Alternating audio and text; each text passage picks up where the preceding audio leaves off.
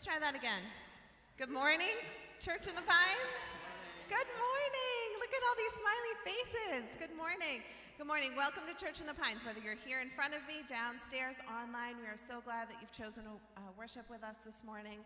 Welcome. If you're new here, we would love to know that you are here. So, in when you walked in, you should have gotten one of these, and there's a little tear off section. This is if you've never been here before. We're switching again. Keep talking. If you've never been here before, um, this is an opportunity for you to let us know that you are here. Um, you can put your information on here, your email, stay connected to Church in the Pines. You're going to see with my announcements this morning, we have a lot going on, and we want you to stay connected. So please fill that out. If you've been coming a long time and you have a prayer request, or you want to volunteer, you have questions, you can also fill that out, and someone will get back to you. So, our next set of announcements are about membership. If you've been coming for a while and you aren't a member yet, we would love to connect with you and let you know what it means to be a member here at Church in the Pines. So, we do have an upcoming membership um, meeting. So, if you're interested, they're going to start in April. You can email the church office at cipsecretary at churchinthepines.org and get on that list. If you're already a member, we do have Constitution and Bylaw Review Committee that's meeting on April 2nd from 6 to 8. And we also are going to have our all church annual meeting on April 10th at 7 p.m. in Fellowship Hall. So we hope if you're already a member that you'll put those dates on your calendar and you will join us for those. Our next set of announcements are about missions. So we've talked a lot about missions. Missions is such a wonderful opportunity. This is such a mission heart church. Um, and we do have two groups that are going to be going on missions. And you might not be going on the mission trip, but you might be feeling called to be a sender. So we have opportunities for both. Um, we do have a fundraiser coming up on April 6th. That's one way that you can be a sender for these mission trips. Um, it's April 6th at 6. We do have QR codes available that you can scan and reserve your seat for that. And we do need your donations. So if you feel like God has put it on your heart to be a part of this opportunity, you can designate um, on one of our offering envelopes that this is for the missions. We'll make sure that it goes to that fund. Um, if you are giving today, we know that the Lord loves a cheerful giver. If this is your first time here, you're not a member here, please don't feel compelled to give. Um, but God does call each of us to give out of what He's calling us to give, and so we'd like to give you that opportunity. We do have offering boxes in the doorways and downstairs that you can leave your offering. And our very last, can you believe it is Palm Sunday? Amazing. It's Palm Sunday all right today. We have Easter in one week. So on your seats or near you, you should have a small card. And the first side of the card is about our Easter egg hunt. So the Lord's provision provided. We didn't. It was supposed to be Saturday yesterday. Can you imagine what that would have been like? Um, so it was, it's now next Saturday. It's going to be at the property um, in Middleborough. So this doesn't do us any good after this week. So I want you to take it with you. Do not leave it on the seat. Take it with you because there's two things you need to know. One is we need volunteers for the day of. So if you're part of our church, you'd like to get to know the community, be a part of this community outreach, please come. We have 175 um, ish treat bags full of candy. We've got hundreds of eggs that we need to hide at the property. We'd like to offer the community some fun games like bunny hops and egg races and crafts to do that day. Um, it's only two hours. We're asking volunteers to join us at the property at 8:30 in the morning on Saturday. We have a sign-up sheet downstairs just so we can stay connected to you, send you some email reminders, find out what it is on your heart, how you want to volunteer. So we would love to connect with you that way. But on the other side, it's a handy-dandy dual, you know, two things in one. This is amazing. On the other side, Easter services next week. 9 and 11. You can hand this to someone and you can invite them to two things at once. Isn't that amazing? And after this week, it's no good. So do not leave it on your seat. Take it with you. Whoever God puts it on your heart this week to invite to church, please hand it to them. They can take it with them. We have 9 and 11 o'clock service. 9 o'clock is when we'll have junior church. So if you're a regular attender and you'd like your children to go to junior church, please plan on the 9 a.m. service. We also are going to have fellowship in between those two services. And what Lisa Holmes and the kitchen committee would like you to know is we would love additional treats because Easter is one of those times we know people may not come to church every week, but a lot of people will come on Easter. And so we want those, we have those two services, we want plenty of opportunity, and we want that fellowship time in between the two services, and we need extra treats. So please see Emily Eubanks, Crystal Johnson, Lisa Holmes, Joan Miller, or Janet Wilson. Um, before you leave today, they have a little reminder for you because we have only have one week, and we would love to have you bring some treats. And I think that is everything. See, I told you we've got a lot going on at CIP. We have a lot going on. Our verse for today Jesus said to her, I am the resurrection and the life. The one who believes in me will live, even though they die. And whoever lives by believing, lives by believing in me will never die. Do you believe this? John 11, 25 through 26. Uh, would you pause with me and pray before we turn to worship? Lord God, I just thank you for this Palm Sunday and this Holy Week that we're about to enter. I just pray, Lord, that you would prepare our hearts for the service today, uh, for the things that you have for us to hear from you. Um, Lord, I pray that we would have open minds and open hearts, that we would allow your spirit to move, um, and just have us have openness uh, to all that it is that you have for us during this service, Lord. I pray for the message, for the worship, all the ways that we worship, Lord, through giving, through song, uh, through listening to your word, that would all be honoring and glorifying to you. And we give this time to you. It's in Jesus' name we pray. Amen. Amen. Would you stand with us and worship, please?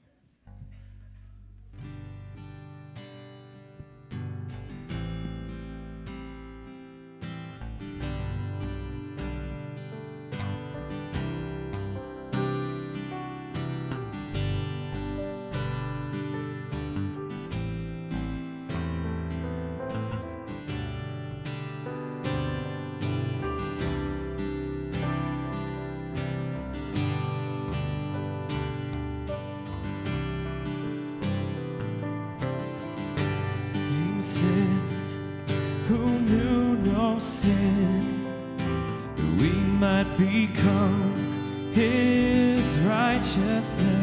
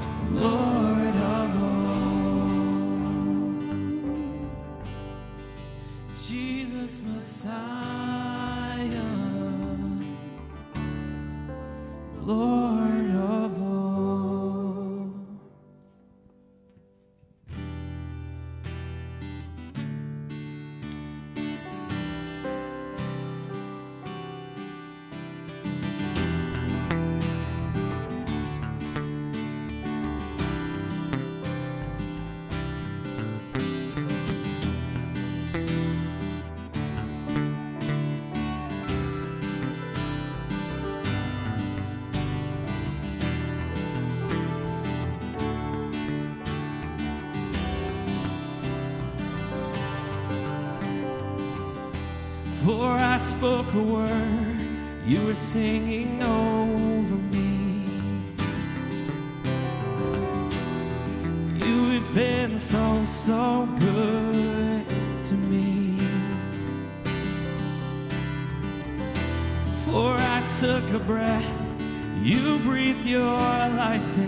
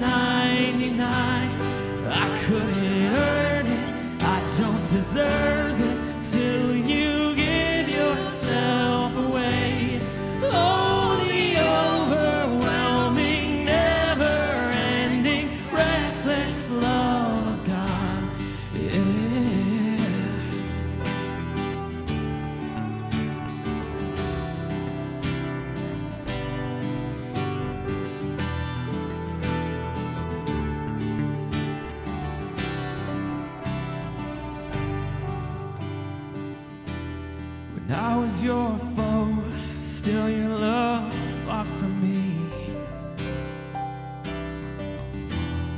You have been so, so good to me. When I felt no worth, you paid it all for me. You have been so, so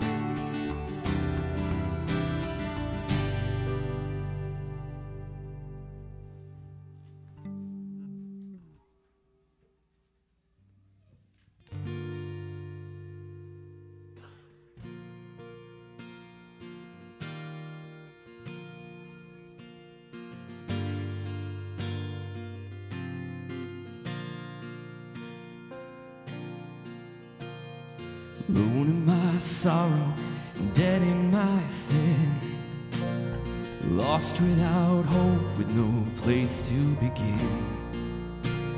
Your love made a way to let mercy come in. When death was arrested and my life began.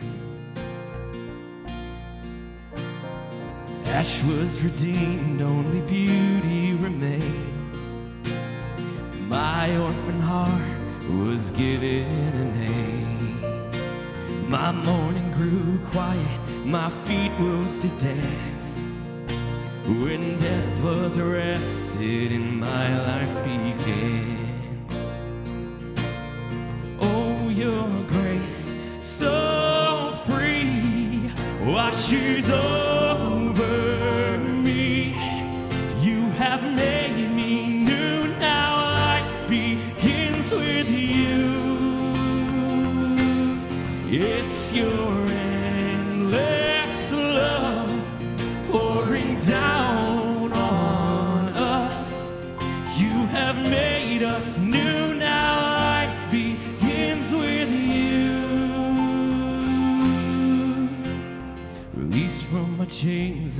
prisoner no more. My shame was a ransom he faithfully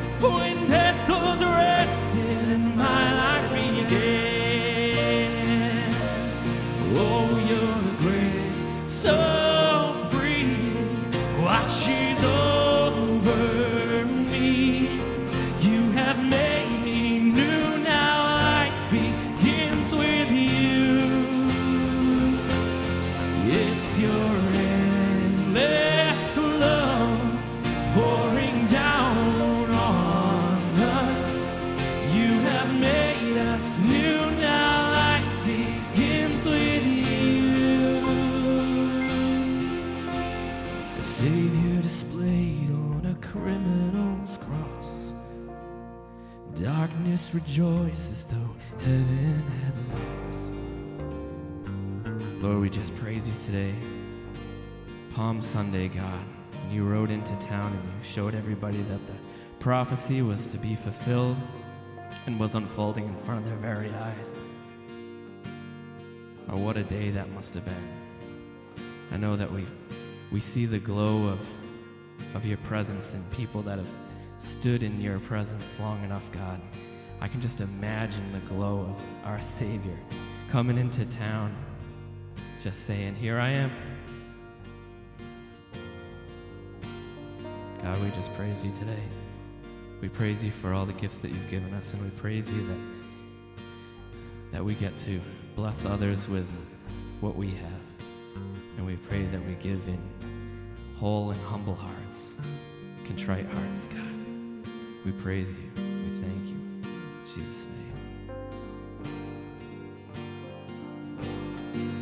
But then Jesus arose with our freedom in hand. That's when death was arrested and my life began.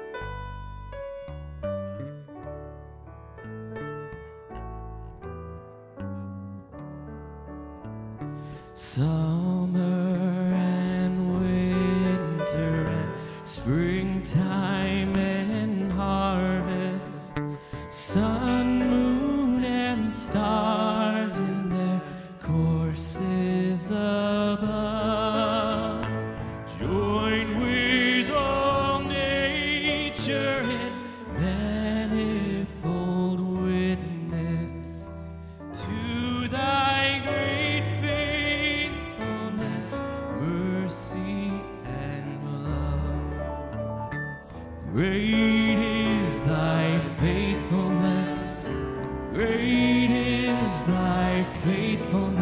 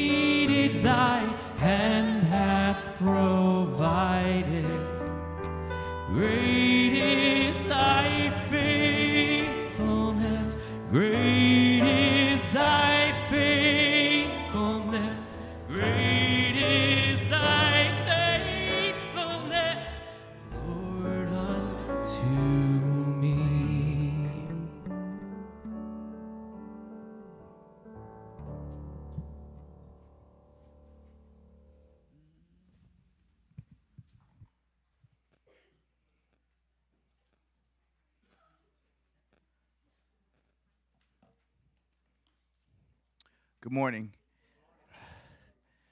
I apologize. I am fighting an illness. It sapped me. So if I if I if I didn't shake your hands this morning, it's a good thing. I only t- I only took out Ron, so Ron's gonna be hurting. Um, so uh, the Haiti report. Uh, I was listening last month that uh, Haiti is um, is compared with Gaza what's going on in Gaza with the attacks going on. They said that's what's going on in Haiti. The warlords are are in the midst. They're going attacking it, and it's crazy. So people are asking me, "What's going on with our church? What's going on with our sister church down in Haiti?" And I like to say, I love that last song. Um, God is faithfulness. No matter what situation, whatever situation you're in right now, dealing with a cold, minor, dealing with hardships, dealing with pain, God's faithful. God's faithful. And what's amazing is when I'm talking to Pastor Bells there down in our church, sister church down Haiti, you get that sense. God's faithful. His prayer was, Henry, um, things are moving. I'm like, I know. No, no, God's moving. I'm going down the neighborhood and I see God moving.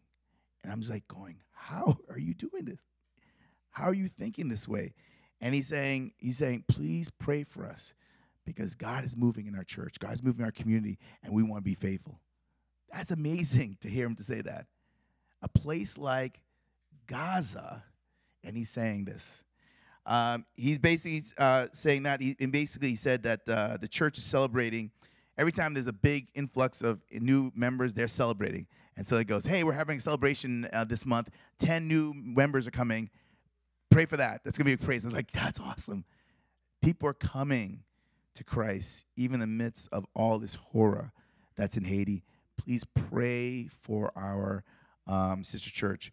Another prayer request for him was that he, he- they they take care of a they run a elementary ch- school, and they're underpaid. It's just we we we give as much as we can, but he goes, you know, I really want the year's about to end. I really want to give him a gift, and our church was said, you know what, we're gonna we're gonna supply that. So um, pray for our teachers down down there. But we gave last month uh, a gift, and they sent us back uh, the response of teachers getting that gift, and so we want to be faithful, uh, taking care of this.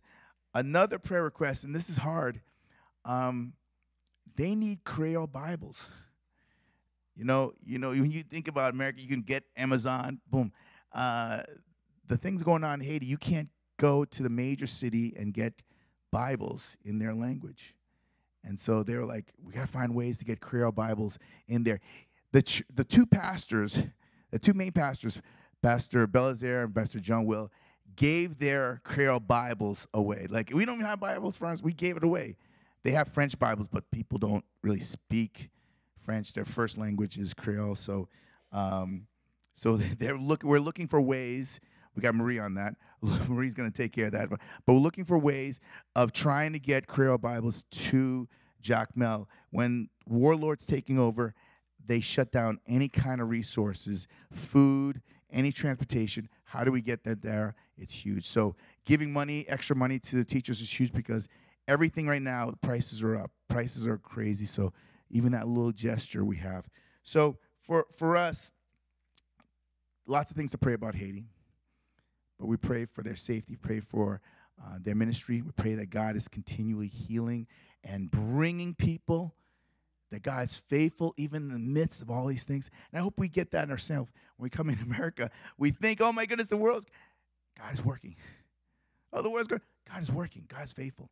So we got to be reminded, when we look at our sister church, we got to be reminded that the present situation we are in, in does not dictate how faithful God is, right? The present condition that we are in right now does not dictate God's faithfulness, God's love, that reckless love. We got to remember that, and I think that's what uh, the church is in Jack is teaching us. So let's pray. Father, we just thank you for your faithfulness. We thank you for your love. We thank you for your reckless love. We thank you that that uh, as the world goes crazy, as the world goes bonkers, we can turn to you. We can be uh, we can be we can be stabled and supported and founded and be lifted up by your love. Help us to continue to turn to you in every situation, every situation. And we look at our brothers and sisters in Haiti. We look at Pastor John Will, Pastor Belazaire, and we ask them that they will be faithful to doing the work down there that as things are moving, as people are moving, as people turning to Christ, they're there to gather, to grow, to move. We pray for their schooling. We ask that uh, more funds will come in for their schooling, uh, that kids will be turned to Christ. We pray for uh, just the the horrors that's going on there. We ask for safety, Father. We thank you that we can partner up with them and we can learn from them about your faithfulness. We praise you in Jesus' name, Amen. I gotta give. I gotta do this. I don't want to give you what I got. You don't want what I got, do you?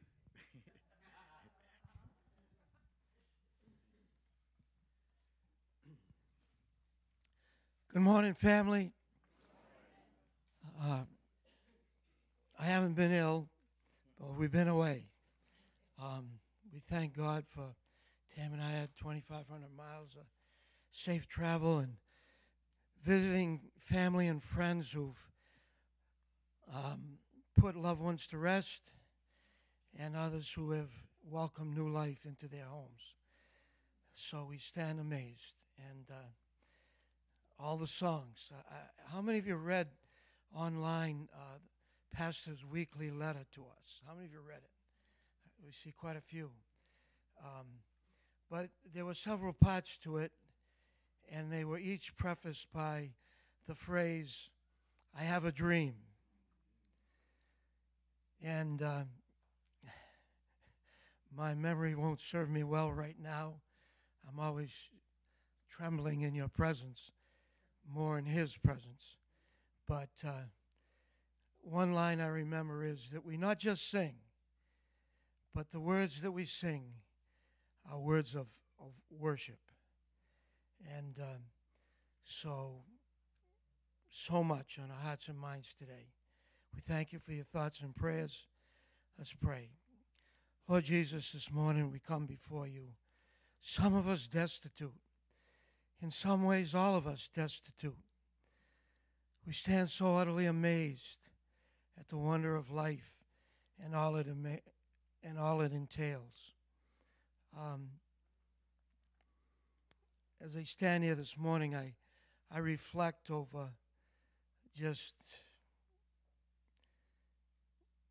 not just the past few weeks and years, but even just today. I think of uh, the Otley family who put a dear loved one to rest this week, and suddenly, and others also uh, utterly amazed. I think of that first song we sang, Love So Amazing. And uh, we thank you, God, that uh, you came to rescue us for me. We thank you, Lord, that you are our blessed Redeemer. I think of that line in the first song Do you believe this? All amazing God, we think of life. And uh, to think of another line that even before we took a breath, I can't imagine you were singing over each one of us. Uh, I think it's so difficult to grasp just the depth, the depth of your love, beyond comprehension. Thank you for Henry's words and, and those of us that have paid attention to the news that Haiti is in enormous turmoil. And the thought I had, Lord, this week is one of the leading terrorists is a man nicknamed Barbecue. Some of you have heard that name, some of you have seen him on t- television, on the news. And this week I've, I've pondered the thought that you love us all, even those of us that reject you. The thought that you love barbecue as much as you love any of us. That's just a bit of the extent of your love. So we pray for Haiti, and uh, we have no idea what's happening and a solution, but you have a plan. So we lift up those folks in Haiti. Pastor there in the church. We lift up folks in Somalia and the Sudan, the Gaza Strip, and the West Bank, all of Israel and Palestine. We lift up those that in the Ukraine. What a what a sad and desperate situation. The bombing, the bloodshed, the screams. We don't hear them here. We live relatively safe. And so we just lift them up, God. We thank you, Lord, for peace that passes all understanding in the midst of whatever we might be going through.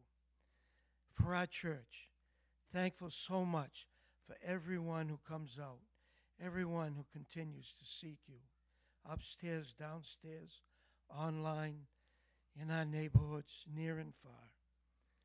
So we give you thanks, we give you praise. We thank you for Pastor Gray's uh, successful trip to um, Bangladesh, a country where over 98% are Muslim or Hindu less than 1% are Christian. And we thank you that he's had an opportunity to go and to, live it, to deliver messages of hope and encouragement and strength uh, to those that he was able to serve. We thank you for their safe return. And, uh, well, Lord, there's so much, much more. But we thank you, God, that you can invade our lives you can invade our circumstances, and that you bring hope, not only for now, but for eternity. So we give you thanks. We give you praise. I thank you, God, that you can tear down all barriers and that we can come here on level ground before you and each other, that we might encourage and strengthen one another in whatever way possible. Well, so much, God, for this and much, much more. We thank you. We praise you. We commit it all to you. In the powerful and precious name of Christ, our risen Savior. Amen.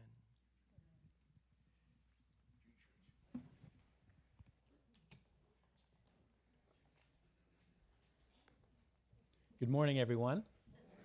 It's a joy to be back. I enjoy going to places like Bangladesh, but I always enjoy coming back as well and seeing um, your wonderful faces and being able to connect with you once again. Today is Palm Sunday. And if you have your Bibles, I would invite you to find Matthew chapter 21. Matthew chapter 21. We're going to be looking at Jesus' triumphal entry.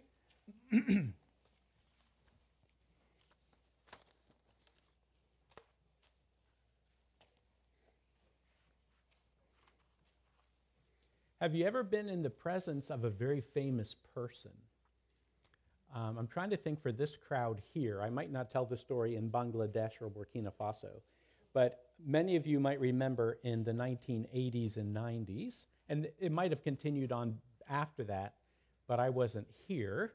But there were the um, Congress meetings in Boston at the Hynes Convention Center. Probably some of you have attended those in the past, and um, I attended those several times. And one time I was at the Hynes Convention Center, and the elevator came down, and out came a very tall man who plays basketball for a brief time in Boston, but also for some other teams. And I was standing there looking at the belt of Bill Walton. I was in the presence of a famous person, and I actually recognized him because I follow sports and I knew who he was. Isn't it amazing that Jesus was probably not probably, Jesus was the most significant person that ever lived. But so many times and so many people were in his presence, but did not recognize who he was. Many of you will remember the very first story when Jesus begins his public ministry. And he goes into the temple and they offer him the scroll. He opens the scroll of Isaiah and he reads the famous passage speaking about the Messiah and the Messiah's ministry about preaching the good news to the poor, about liberating the captives. And Jesus reads that famous passage. He rolls up the scroll and he says, This passage is fulfilled in your presence. And then he sits down. And you realize that what Jesus had done was to declare himself that day in that crowd of people that had come to the synagogue. He had basically said, I am the Messiah. And when Jesus taught, people were amazed. People were amazed at how he taught. They were, uh, they'd never heard someone who taught like he did. And often you'll find in the Gospels where they'll say, he doesn't teach like our teachers of the law. But just after that story, as amazing as Jesus' teaching was even that day, the text says that they were amazed at his teaching. When Jesus got up, when they realized that he had taught them that he was actually the Messiah who had actually come, the one that Isaiah had been speaking about, Jesus was that person the text says that they walked him to the, the side of a cliff with the hope, with the intention of pushing him over the side. They were in the very presence of the Messiah, but failed to recognize his greatness. And so, time and again in the Gospels, we read stories of those who should have recognized him, those who were prepared to know who Jesus was, and yet when Jesus was in their presence, they failed to recognize who he really was. But there was one day when all the city was abuzz. There was one day in Jerusalem where everyone recognized and proclaimed that Jesus was king. What happened that day on Jesus, the day of Jesus' triumphal entry? What was happening that day for everyone to recognize that Jesus was, in fact, the King of Kings? What was different about that day than maybe some of the other days when Jesus was in people's presence and they didn't recognize who he was. So if you have your Bibles open, I'd invite you to look at Matthew 21.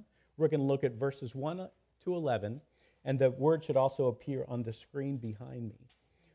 What occurred on the one day when everyone recognized Jesus as king?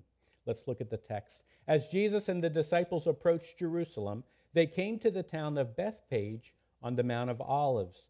Jesus sent two of them on ahead. Go into that village over there, he said. As soon as you enter it, you will see a donkey tied there with its colt beside it. Untie them and bring them to me. If anyone asks what you are doing, just say, The Lord needs them, and he will immediately let you take them.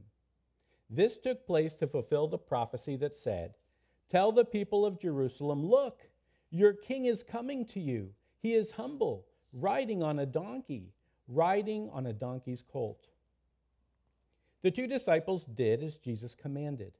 They brought the donkey and the colt to him and threw their garments over the colt, and he sat on it. Most of the crowd spread their garments on the road ahead of him, and others cut branches from the trees and spread them on the road.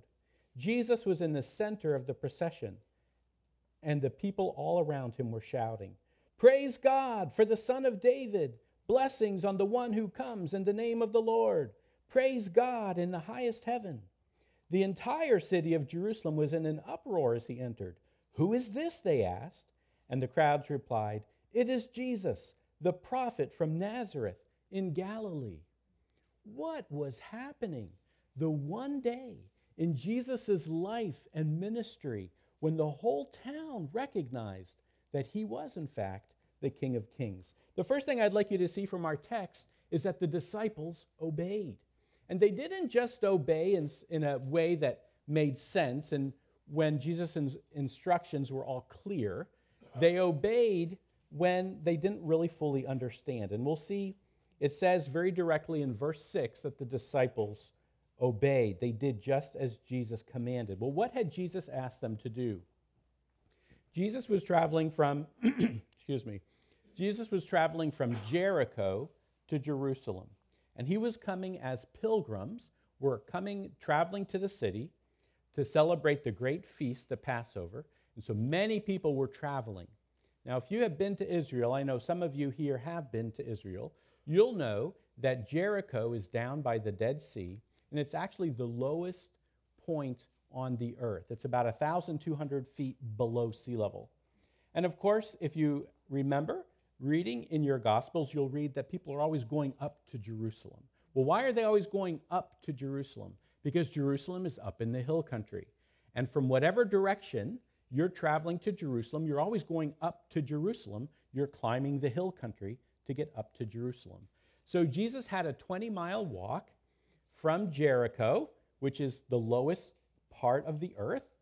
Uh, and he, he walked with other pilgrims about 20 miles but it was a steady incline. It was an ascent uh, for about 20 miles to about 2,500 feet above sea level. So it was quite an arduous journey, and he did that on foot with many other pilgrims. Jesus could have been tired. Jesus had a, a long uphill battle uh, as he's entering Jerusalem. He's going to die. He's going to give his life for you, and he's going to give his life for me. And as they're going, you remember that uh, a few summers ago, we did a series through the Psalms, and we saw some of the Psalms of Ascent. Um, if you look in the Psalms from Psalm 120 to 134, there's a series of Psalms that pilgrims, as they're traveling to Jerusalem, as they're ascending the hills up into Mount Zion, where Jerusalem is settled up, nestled up in the hills, there was, there was a series of 14 Psalms that the pilgrims would sing and they would recite together as they're traveling, maybe to keep them uh, focused on the Lord and focused on the reason why they're going. And so Jesus is traveling on this hard uphill ascent into Jerusalem. And as he approaches, he takes two of his disciples aside and tells them this. He says, I want you to go into the next town. There's a donkey and a colt. Now, we know from the other Gospels, all the Gospels record the triumphal entry. It's a significant event in the life of Christ. And one of the other Gospels tells us that the colt has never been ridden before. But he, he sends the disciples into the town. He says, As you enter the town, you will see a donkey and a colt that has never been ridden.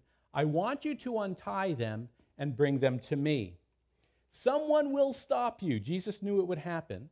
And if someone stops you and asks, just say, The Lord needs it. Now, it's interesting that he doesn't say, Go into the town ahead find the owner of the donkey and the colt, explain to the owner of the donkey and the colt that the Lord needs your donkey and colt. Please let him borrow it. He says, First go and take it, and as you're leaving with the donkey and colt, someone will ask you.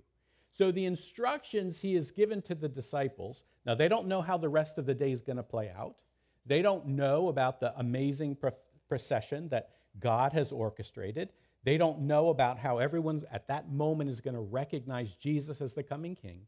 They're told to go and take a donkey and a colt, and if someone asks, to just say, the Lord needs it. Now, I imagine if you and I had been uh, one of those two disciples and we had scampered off to do what Jesus had told us, we could have second guessed. we could have had overanalyzed the mission that Jesus had sent us on. Are we really supposed to take this? Um, we're not even supposed to find the owner first and explain what we're doing.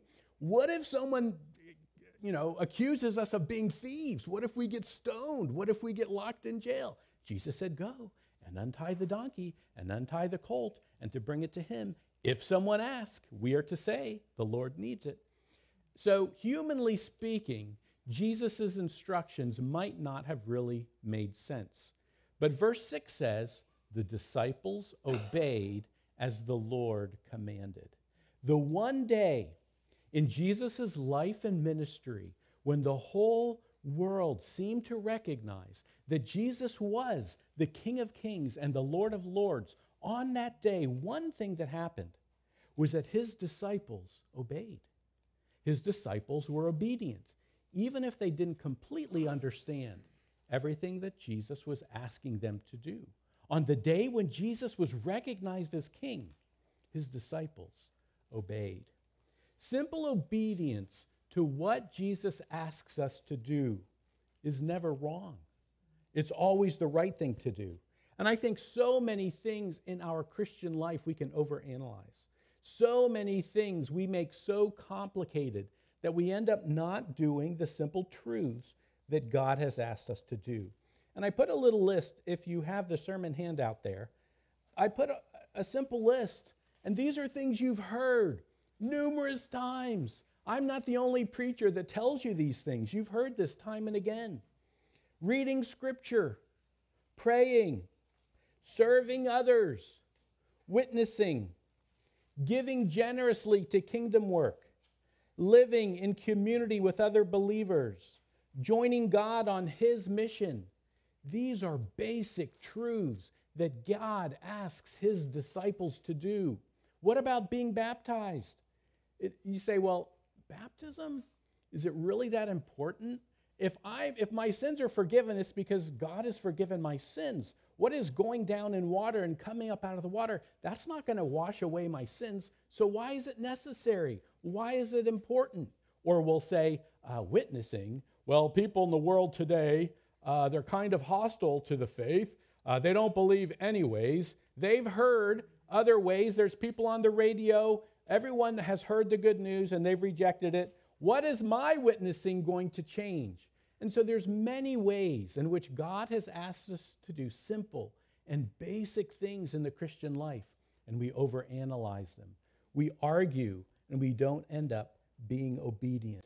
The one day when Jesus was recognized as being the King of Kings and Lord of Lords, his disciples obeyed, even if they didn't completely understand why Jesus had sent them in to get this donkey and the colt that no one had ever ridden on. Why is the church of Jesus Christ so lethargic? Why are we moving so slowly? What are things in your life that you're failing to obey?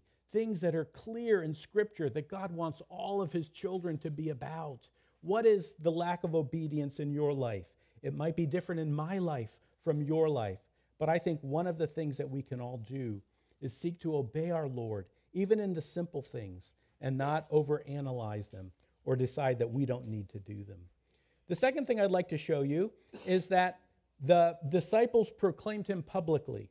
Now, if you look at, I read the, this story in the four Gospels, and John's Gospel brings out something that Matthew doesn't tell us. And it's in John 12 12. You don't need to turn there now.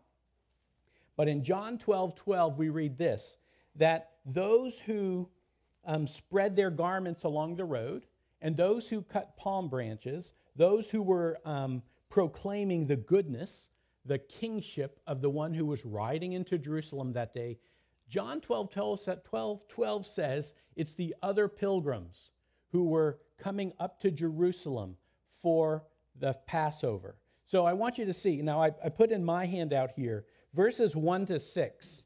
You could bracket that off, and that's Jesus talking to his disciples. But if you look at verses 8, 9, those are the author of those verses there, the, not the author of the verses, but the actor in those verses are the pilgrims, the other pilgrims that have come from the countryside, people that are traveling to Jerusalem. Those who are singing the Psalms of Ascent as they are traveling together to celebrate the Passover in Jerusalem. And then if you look at 9 and 10, we see there the whole city, the residents of Jerusalem. That's where the whole city is abuzz. And people are saying, Who is this? What's happening? Oh my goodness, this looks so exciting. Apparently, a king is coming. And all of the city. So you have the disciples traveling with Jesus, you have the larger crowd of pilgrims who are also traveling to Jerusalem, and then you have those who are resident in the city, and they're the ones who are sort of the subject of verses 10 and 11.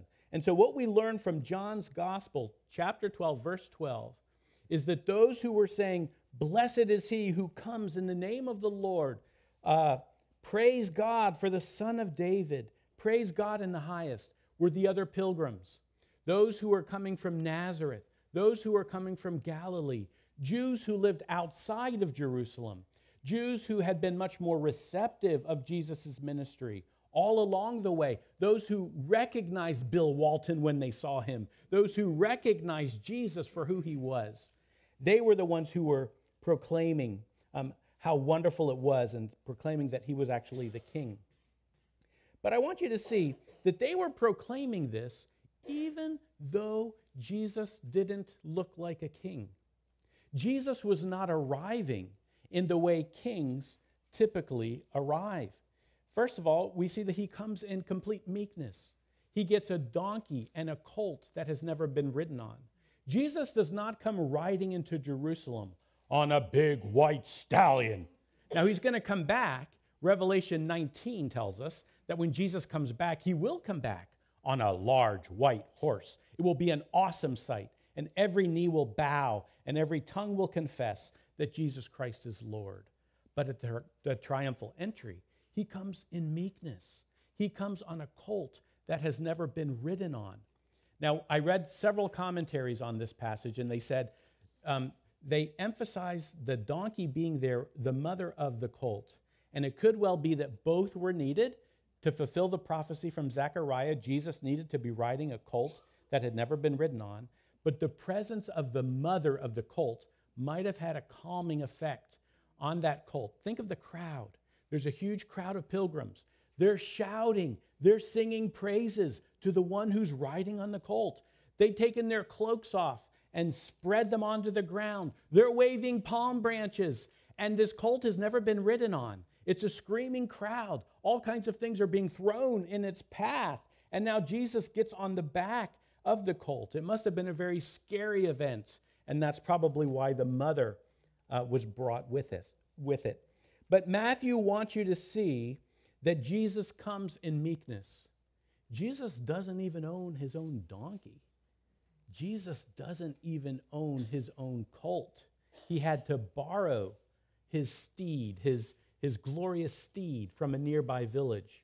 And that doesn't surprise us because all of Jesus' life and ministry has been done from a position of meekness, even weakness. The Son of God was born in a manger, in a stable. There was no room for him in the inn. And when people wanted to follow him, he reminded them that the Son of Man had no way, nowhere to lay his head. Jesus came in meekness. Jesus came in weakness. He didn't win us over because of his political power. He didn't win us over because of his physical might. He didn't force us to follow him. He came in weakness. He came from the ground up. Isaiah says there's nothing striking about him. When you saw Jesus, you didn't see him and say, Wow, what a handsome, strong, Samson like man who stands head and shoulders above the crowd. Look at those muscles. Look at that leadership that comes beaming from him. Isaiah says, No, there was nothing striking about his appearance. He, he was bruised. He was perhaps even ugly. He was a very simple man. He came in weakness. He didn't have all the accoutrements, all the fancy clothes. He didn't have a chariot. He didn't have a big war horse. He came in weakness. He associated with the weak people of the earth, with the low people of the earth. From the beginning of his ministry to the very end, he associated with those who were weak, with those who were lepers, with those who were outcasts, with those who were not liked by others. He was their Lord. He was their king. He had come for them. He fed them when they were hungry. He healed them when they needed to be healed. He was their Lord. He was their Savior. He loved them. He didn't come as a king until that day. He had come in weakness. And I want you to think about how many times in Scripture we see that. Now, I preached this a couple years ago, but when Joshua takes command, when, when Moses passes away, and leadership is given to the children of Israel, and they're about to enter the promised land, two things happened the day before they attacked Jericho. The men had not been circumcised for 40 years. And God said, All right, before you enter and take possession of the land, circumcise all the men. The second thing, they had been fed miraculously with manna and quail for 40 years in the desert. And the day they stepped into the promised land, God said, The miraculous provision of food is going to stop. No more manna, no more quail. Joshua, you're going to be a leader. You're going to enter into that promised land. You're going to attack Jericho. First, I'm going to disable all your fighting men. We're going to circumcise them. Secondly, no more free food. You're going to have to make this work. And if you had been Joshua, you would have said, Lord, first of all, I'm a young, inexperienced leader. At least Moses, he had, right? He saw you at the burning bush. People listened to Moses. He stood up to Pharaoh. He, he had a lot of uh, authority. Who am I? I'm the new young leader. And now you're taking the food away? Now you're, you now you're disabling all my fighting men? How is this going to work? And God says, it's going to work because you're going to play by my rules. It's not because of the strength of your sword you're going to win the day. It's because you obey me. You're going to you're going to march around the city of Jericho. You're going to worship and you're going to praise the Lord and you're going to leave the victory up to me. And that's what they did. And they were victorious over Jericho, not because their muscles were bigger than those on the inside of the walls, not because their weapons were better, but because God was God and God was on their side. God loves to work in weakness. God loves to bless those who depend on Him by faith, who take steps of faith even in their weakness, but trusting in God. He loves to bless what they do. Now, I wonder would it be easier for us to witness to our friends if the church of Jesus Christ always looked good, if everyone who was sick and prayed was miraculously healed, would it be easier for us to witness to our friends? If evangelical Christians always looked good on the world's scheme and the world scene, maybe we'd say, hey, that's the church I belong to. We're a pretty good church. Look at all the wonderful things that our church has done and that God is doing you know, our church is kind of weak. But that's okay because God isn't. God loves to bless those who, who believe in Him, who have faith in Him, even when, by all appearances, we shouldn't be able to do what we are doing, but we have faith and we trust God anyway. I had a privilege of just spending a week in Bangladesh. Bangladesh, has Ben prayed, I love Ben's, where is he? I love Ben's prayer. Uh, ben, ben is very cognizant of the rest of the world when he prays, and that just makes my heart sing with joy when I hear the way he prays. Um, people in Bangladesh, Christians, are a tiny, tiny minority. And uh, I just spent a week with 22 Christian leaders. Many of them were women. They are doing very courageous things in a very dark part of the world. You cannot go there and see what God is doing and not come away and say, God loves to bless people who are weak, who are meek, who don't have a lot of resources, but they trust God. They put their faith forward, they step into the Jordan River, and then they find that the waters part and they're able to walk by faith because God is with them. It's unbelievable. This last month, the front cover of Voice of the Martyrs once again is Burkina Faso. It's on the front cover. More pastors have been killed in Burkina Faso. It makes my heart, uh, for those of you who don't know, that's where I've lived much of my life and worked. But the gospel of Jesus Christ is going forward in places where the church is weak, where people don't have um, all the things we think we need for ministry to go forward. We have the Lord. And He's asked us to, to have faith and to pray and to take steps of faith, and He blesses them. Think about the early church and how it grew. We've been working through the book of Acts. We took a, a, a, brief respite from that during our spiritual adventure. But I hope you've been able to see some of these themes that have come back time and again in the book of Acts. Jesus did not build buildings. Jesus did not open a big bank account and give debit cards to his disciples and say, when you go out in mission, you're going to need a lot of money. Uh, the first bank of Jerusalem, I have an account open for you. All you 11 disciples, will add Paul in there to make it 12 again. And uh, you have bank accounts, you have cards. When you need money, just go by to the ATM and you have all the money you need. Jesus never wrote a book, Jesus never started a school, Jesus never built anything. He invested in a few people. He loved them. Ministry was relational. He spoke into their lives. He read scripture over them. He taught them God's word. He prayed for them. He prayed with them. He took them with him for ministry. They saw how he got involved in the, the grime of life, how he touched people that no one else would touch, how he loved people that were outcasts in society. They saw him do ministry because they were close by. Ministry was highly relational, it wasn't dependent on stuff. It wasn't dependent on money. And that's why the Church of Jesus Christ is going forward in places like Haiti. When you look at Haiti, humanly speaking, you think, how in God's world can people even survive there, let alone do evangelism campaigns and, and, and do discipleship? And people are coming to the Lord in one of the most chaotic places on earth right now. How are people coming to the Lord in Burkina? How are four foot eight little Muslim converted women who have become Christians um, starting orphanages in Bangladesh and discipling other women? How, how is the Church of Jesus Christ going forward in leaps and bounds in places like Bangladesh if it wasn't for the Lord? You see, the Lord loves to take people who have faith in Him, people who are humble, but people who love the Lord and people who depend on Him in prayer. He loves to take those people and do amazing things through them.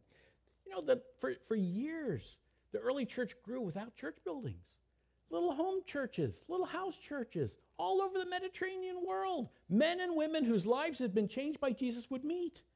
And they might have little scraps of scripture. They didn't have CBD, they didn't have Amazon, they didn't have devices with multiple uh, versions of scripture. They had little portions of scripture. Maybe they had a letter from Paul, but that meant something to them. They treated it as though it was scripture. They prayed for each other, they encouraged one another, and God did amazing things. And the church of Jesus Christ spread all throughout the world, and we are those who have inherited it today.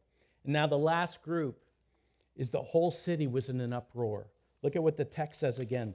The last few verses, verses 10 and 11.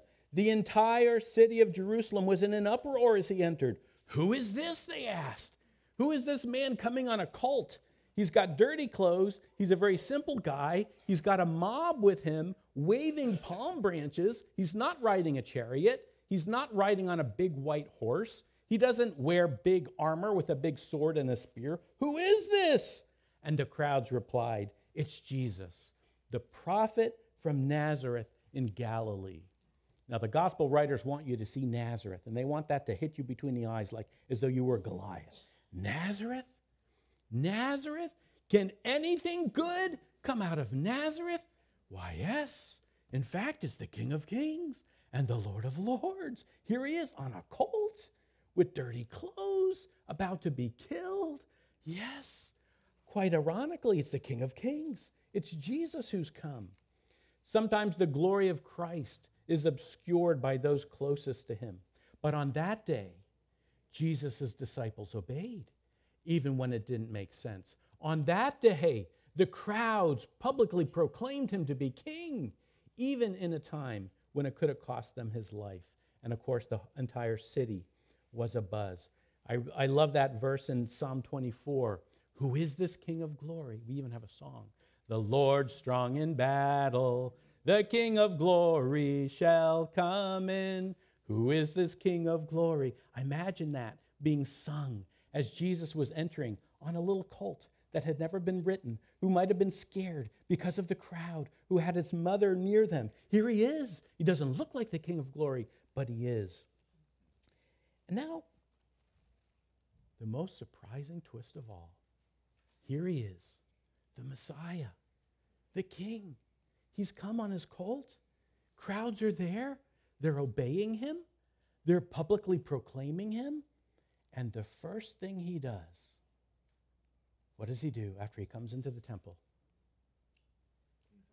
He cleanses the temple. You would have thought, oh my goodness, here he is, the King of Kings. He's going to free us from Rome. We hate the Romans. The Romans, they control us. They're our colonial master. We don't like the Romans. We've been waiting for the Messiah to come. Oh my goodness. We're, we're going to make Israel great again. Here he comes, the son of David. That notice they're calling him the son of David, the King David. He's come. He's going to make us great again. He's going to get the Romans out of here. He goes to the temple. He goes to the heart of their worship and he overturns the temple, uh, the tables of those who are, are there for the wrong reasons. Jesus has come for spiritual reasons, most of all. Jesus has come to speak life into our hearts. Jesus has come to turn our hearts aright towards God. That's why he's come. He's not come as a political hero, he's come to pay for our sins. And I wonder if we have submitted to him as Lord and Savior. You know, there might be areas in your life where you haven't been obedient, and this Easter season, you can be obedient.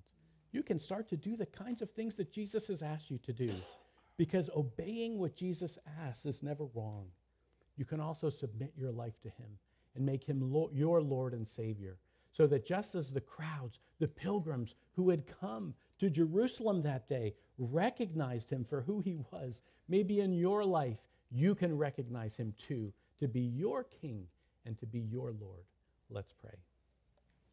Our Heavenly Father, we thank you so much that you are the King of Kings and the Lord of Lords. I thank you, Lord, that we can know you, that we can have a relationship with you, that we can come to you and have our sins forgiven, and we can connect with the God of the universe. Father, I pray for each person here. I pray that you will be working in our hearts today and every day going forward so that we can know you and that we can walk in the way you designed us to walk.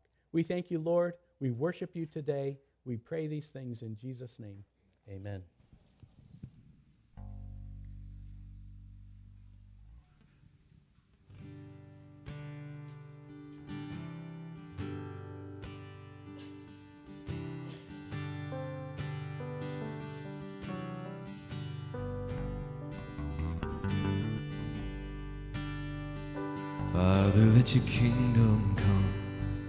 Father, let your will be done on earth as in heaven, right here in my heart. Father, let your kingdom come. Father, let your will be done on earth as in heaven, right here in my heart. Give us this day our daily bread. Forgive us, forgive us, we forgive those who sinned against us. Forgive them and lead us not into temptation, but deliver us from evil one. Let your kingdom come, Father. Let your kingdom come. Father, let your will be done on earth as in heaven, right here in my heart. Father, let your kingdom come. Father, let your will be done on earth as in heaven, right here in my heart. Give us this day our daily bread. Forgive us, forgive us as we forgive the ones who sinned against us. Forgive them lead us not into temptation, but deliver us from the evil one. Let your kingdom come. It's yours, it's yours, all yours, all yours.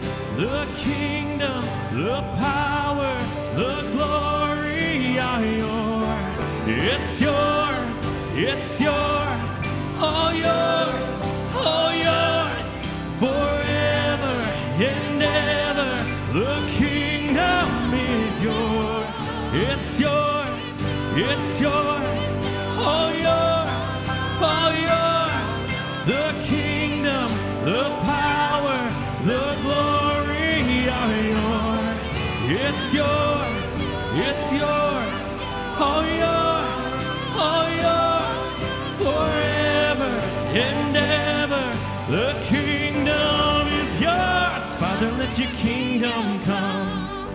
Father, let your will be done on earth as in heaven, right here in my heart.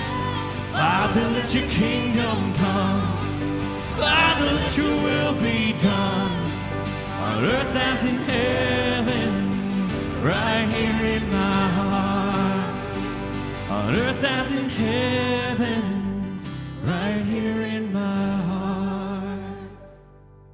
Our Heavenly Father, we thank you so much for your goodness, for your faithfulness. We pray that you would work your kingdom purposes out through us today and for the rest of this week. We thank you, Lord. We lift your name on high. We praise these things in Jesus' name. Amen.